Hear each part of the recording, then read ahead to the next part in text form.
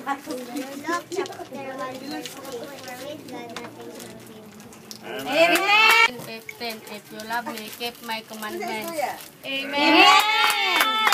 Go. Jeremiah chapter 3, verse 33. Call unto me, and I will answer thee, and show thee great and mighty things. Amen.